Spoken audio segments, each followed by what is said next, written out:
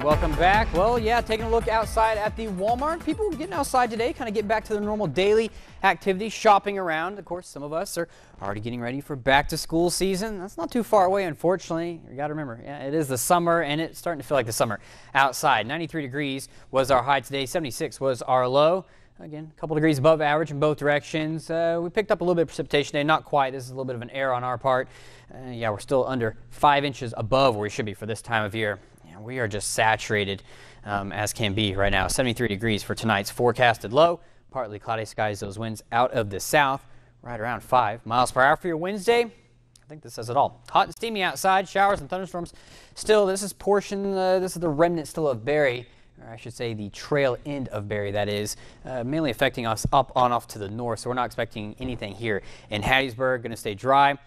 And like I said yesterday, a little bit of a heat wave is starting to build in, so get ready for that. Those winds tomorrow, 5 10 miles per hour out of the west southwest. Temperatures in the mid to lower 90s. And here we go. Yep, heat index values once again near that 105 degree mark. I'm sorry, I really don't like this. It, uh, I, I do not like reporting this because it's just not fun. I don't like going outside and 30 seconds later, your clothes are soaked because you sweat. Yeah, it's just bad all around. So if you don't have to get outside, don't worry about it. Also, because the heat index values are this high, uh, yeah, check in on your elderly neighbors. Make sure your AC is running properly. if it's running 24 hours a day, it might be something wrong with it. Might want to get it checked out uh, because my parents actually had that issue yesterday. So be aware of that because we're getting to that again time of season where it's the later portion of the summer. We're going to stay hot for a while longer, and unfortunately, we have plenty of moisture that's going to make it very, very muggy outside as well. Overall, most of us have remained pretty clear today. We had some clouds, and these were just very minuscule clouds across the viewing area. Some trying to pop up to our northwest. Overall, that shouldn't affect us too much. See a outflow boundary right here. There were some showers up in the northern half of the state. That's why some of those might try and move on in. Although by the time they do, we're not expecting too much in the way of rain.